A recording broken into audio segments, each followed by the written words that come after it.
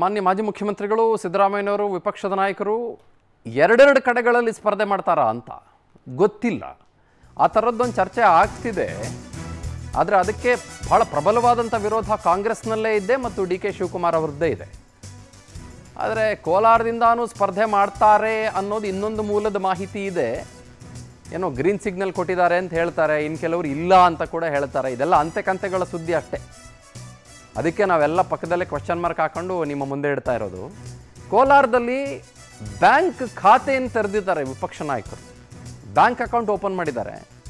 ಚುನಾವಣಾ ವೆಚ್ಚ ನಿರ್ವಹಣೆಗೆ ಅಕೌಂಟ್ ಓಪನ್ ಮಾಡಬೇಕಲ್ಲ? ಅದನ್ನು ತೋರಿಸ್ಬೇಕಲ್ಲ? ಸೊ ಯಾವುದೇ ಅಭ್ಯರ್ಥಿ ಆದರೂ ಕೂಡ ಚುನಾವಣಾ ವೆಚ್ಚಕ್ಕೆ ಅಂತ ಅಕೌಂಟ್ನ ಓಪನ್ ಮಾಡಬೇಕು. ಚುನಾವಣಾ ವೆಚ್ಚಗಳನ್ನು ಬ್ಯಾಂಕ್ ಖಾತೆಯಲ್ಲಿ ತೋರಿಸಬೇಕು, ಅದನ್ನು ಸಲ್ಲಿಸಬೇಕು ಕೂಡ ಅದನ್ನು ಎಕ್ಸ್ಪೆಂಡಿಚರ್ಸ್ ಅಂತ ಬರುತ್ತೆ ಅದಕ್ಕೆ. ನಾಮಪತ್ರ ಸಲ್ಲಿಕೆಯಾದ ದಿನದಿಂದನೇ ಲೆಕ್ಕ ತೋರಿಸ್ತಾ ಹೋಗ್ಬೇಕಾಗತ್ತೆ. ಕೋಲಾರದಿಂದ ಟಿಕೆಟ್ ಸಿಗುವ ಭರವಸೆಯಲ್ಲಿ ಏನಾದರೂ ಅಕೌಂಟ್ ಓಪನ್ ಮಾಡ್ಕೊಂಡ್ರ? ಅಥವಾ ಮೊನ್ನೆ ಯಾವುದೋ ಒಂದು ಇಂಟರ್ವ್ಯೂ ನನ್ನ ಹತ್ರ ಪ್ಯಾನ್ ಕಾರ್ಡೇ ಇಲ್ಲ ಅಂದಿದ್ರಪ್ಪ. ಅಕೌಂಟ್ ಹೆಂಗೆ ಓಪನ್ ಮಾಡಿದ್ರು? Bank account? ಇರಲಿ. ಕೋಲಾರದಲ್ಲಿ ಬ್ಯಾಂಕ್ ಖಾತೆಯನ್ನು ವಿಪಕ್ಷ ನಾಯಕರು ತೆಗೆದಿದ್ದಾರೆ. ಚುನಾವಣಾ ವೆಚ್ಚ ನಿರ್ವಹಣೆಗೆ ಅಕೌಂಟ್ನ ಓಪನ್ ಮಾಡಿದ್ದಾರೆ.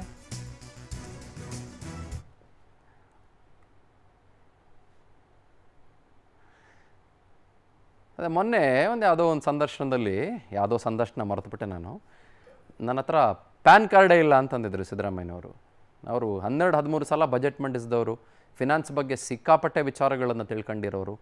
ಆ ಈ Aadhaar card PAN card link ಮಾಡಿದ್ರ ಅಂತ ಯಾರೋ ಕೇಳಿದ್ರೆ. "ಏ, ನನ್ನ ತಾವ ಪ್ಯಾನ್ ಕಾರ್ಡೇ ಇಲ್ಲ ಅಂದರು. ಇರಲಿ ಆದರೆ ಇಲ್ಲಿ ಅಕೌಂಟ್ ಅಂತೂ ಓಪನ್ ಮಾಡಿದ್ದಾರೆ ಕೋಲಾರದಲ್ಲಿ ಬ್ಯಾಂಕ್ ಅಕೌಂಟ್ ಆನಂದು ನಮ್ಮ ಪ್ರತಿನಿಧಿ ಇದ್ರ ಬಗ್ಗೆ ಡೀಟೇಲ್ಸ್ ಕೊಡ್ತಾರೆ. ಭಾಳ ಸಹಜವಾದ ಪ್ರಕ್ರಿಯೆ ಅನ್ನೊಂದು ಎಕ್ಸ್ಪೆಂಡಿಚರ್ಸ್ ತೋರಿಸ್ಬೇಕಾಗುತ್ತೆ, ಚುನಾವಣಾ ಆಯೋಗ ಮುಂದೆ ಇಡಬೇಕಾಗುತ್ತೆ ಅದನ್ನು. ಹಾಗಾಗಿ ಒಂದು ಬ್ಯಾಂಕ್ ಅಕೌಂಟ್ ಅಂತ ಇರುತ್ತೆ. ಅದರ ಲೆಕ್ಕ, ಇನ್ನೊಂದು ಲೆಕ್ಕ, ಮತ್ತೊಂದು ಲೆಕ್ಕ, ಅದೆಲ್ಲ ಇರ್ತದೆ ಬಿಡಿ. ಅದು ರಾಜಕೀಯನ ಅದ್ರ ಬಗ್ಗೆ ಮಾತಾಡೋಕ್ಕೋಗಲ್ಲ ಬಟ್ ಯಾವ ಭರವಸೆ ಮೇಲೆ, ಯಾವ ಆಧಾರದ ಮೇಲೆ, ಏನು ಕೋಲಾರದಿಂದ ಸ್ಪರ್ಧೆ ಮಾಡ್ತಾರಾ ಸಿದ್ದರಾಮಯ್ಯನವರು?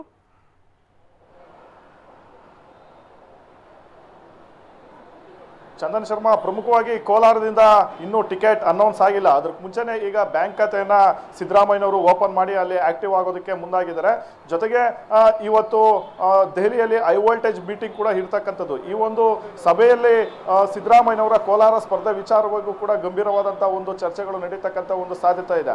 ಇದ್ರ ಜೊತೆಗೆ ಸಿದ್ದರಾಮಯ್ಯನವ್ರದ್ದು ಇದು ಕೊನೆಯ ಚುನಾವಣೆ ಆಗಿರ್ತಕ್ಕಂಥ ಒಂದು ಹಿನ್ನೆಲೆಯಲ್ಲಿ ಅವರು ಕೂಡ ತುಂಬಾ ಪಾಸಿಟಿವ್ ಆಗಿದ್ದಾರೆ. ಎರಡು ಕ್ಷೇತ್ರದಲ್ಲಿ ನಿಲ್ಲೋದಕ್ಕೆ ಅವಕಾಶವನ್ನ ಮಾಡಿಕೊಡ್ತಾರೆ ಅಂತ ಮತ್ತೆ ರಾಹುಲ್ ಗಾಂಧಿ ಅವರು ಕೂಡ ಸಿದ್ದರಾಮಯ್ಯನವರ ಒಂದು ಅಭಿಪ್ರಾಯಕ್ಕೆ ಅವ್ರಿಗೆ ಬಿಟ್ಟಿರ್ತಕ್ಕಂಥ ಒಂದು ಸುದ್ದಿಗಳು ಕೂಡ ತುಂಬಾ ಹರಿದಾಡ್ತಾ ಇರ್ತಕ್ಕಂಥದ್ದು. ಈ ಹಿನ್ನೆಲೆಯಲ್ಲಿ ಸಿದ್ದರಾಮಯ್ಯನವರು ಕೋಲಾರದಲ್ಲಿ ಈಗ ಬ್ಯಾಂಕ್ ಖಾತೆಯನ್ನು ಕೂಡ ಓಪನ್ ಮಾಡಿದ್ದಾರೆ.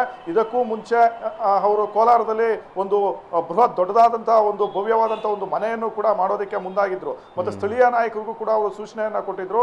ಐ ಒಂದು ಹೈವೇಗೆ ಹೊಂದಿಕೊಂಡಂತೆ ವಿಶಾಲವಾದಂಥ ಒಂದು ಪ್ರದೇಶದಲ್ಲಿ ಒಂದು ಮನೆಯನ್ನ ನೋಡಿ ಅನ್ನೋ ಒಂದು ಸೂಚನೆಯನ್ನ ಕೊಟ್ಟಿದ್ರು. ಅದ್ರ ಮೇರೆಗೆ ಅಲ್ಲಿನ ಸ್ಥಳೀಯ ಮುಖಂಡರು ಕೂಡ ಈಗ ವಾಸ್ತು ಇರ್ತಕ್ಕಂಥ ಒಂದು ಒಳ್ಳೆ ಮನೆಯನ್ನ ನೋಡಿ ಇಟ್ಟಿದ್ದಾರೆ. ಅದ್ರ ಬೆನ್ನಲ್ಲೇ ಈಗ ಇಲ್ಲಿ ಬ್ಯಾಂಕ್ ಖಾತೆ ಓಪನ್ ಮಾಡ್ಕೊಂಡಿರ್ತಕ್ಕಂಥದ್ದು ಬಹಳಷ್ಟೊಂದು ಕುತೂಹಲ ಮೂಡಿಸಿದೆ ಅಂತ ಹೇಳ್ಬೋದು Chandan Sharma.